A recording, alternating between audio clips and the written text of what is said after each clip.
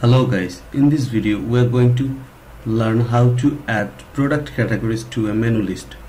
Okay, for this we have to go to appearance and under appearance we will be find menus.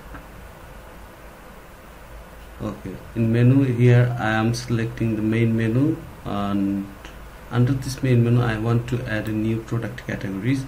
Uh, so in here you will be find product categories sometimes you will be not finding product categories for this. You have to go to up here at screen option and under this you will find product categories.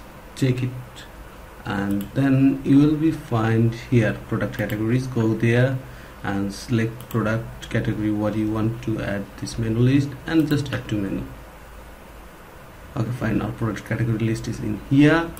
And if we but to change up down you can do anywhere.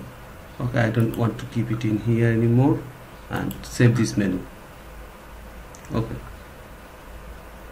Thank you